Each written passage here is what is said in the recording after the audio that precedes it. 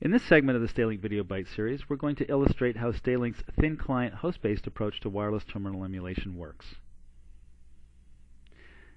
Let's start with the Stay-Linked Thin Client software running on the user's mobile computer. The Stay-Linked Thin Client software is responsible for input and output only.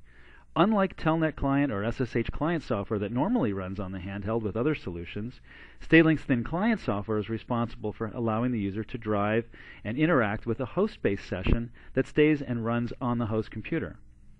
All Telnet Client or SSH Client interaction with host Telnet or SSH server software takes place internally under the control of the Stay-Linked server process, which is a Java piece of software running on the host system at all times and allowing the two components of the Telnet or SSH clients and the Telnet or SSH server to communicate without interruption. Furthermore, the Stay-Linked protocol, client to host, uses UDP over IP instead of TCP over IP to communicate. The big advantage is that there is no data needs to be transported between the host computer and the mobile computer in the user's hands unless there's a key press, a barcode scanned, or some sort of a change in the display. Meaning that this protocol is quiet on the network unless there's work to be done. The same cannot be said of TCP-based products. Another major advantage to keeping the session on the host is that the help desk can interact with that session at all times and see what the user's seeing without having to access the user's device. This is a major differentiator and offering true session management without the need for device management software. Because the session is running on the host, the end user interacts with it as well as the help desk as a common touch point. With the Stay-Linked Administrator GUI console supplied with the Stay-Linked product, help desk workers can right-click and connect and interact with the user session running on the host at all times, even if the user's device can no longer communicate with the host system. This is when Stay-Linked really shines.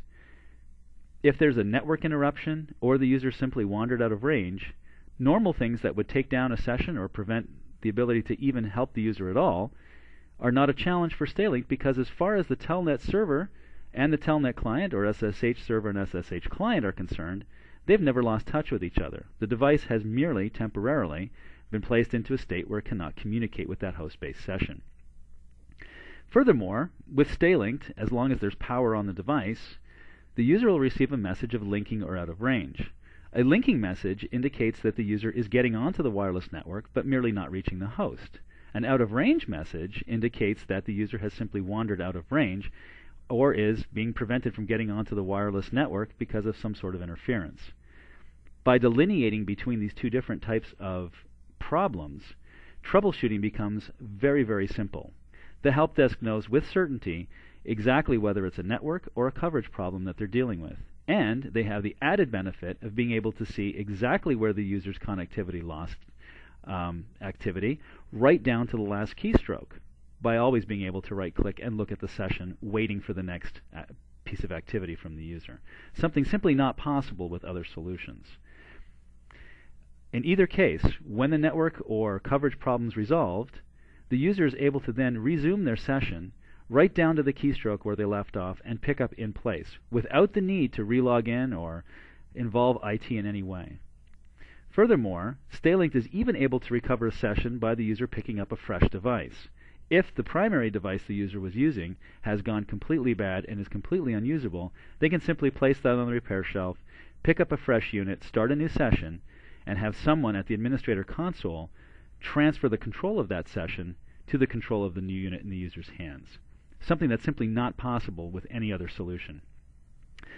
This is a great illustration of how Stay-Linked's unique host-based approach and thin client design provides true session management and eliminates any common occurrences such as wireless interference, network slowdowns, dead batteries, or anything that would normally interrupt a wireless terminal session from being a major issue, and keeping the help desk in constant control at all times.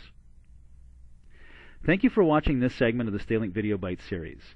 As always, please send us your ideas and any feedback via email to videobytes at staylinked.com.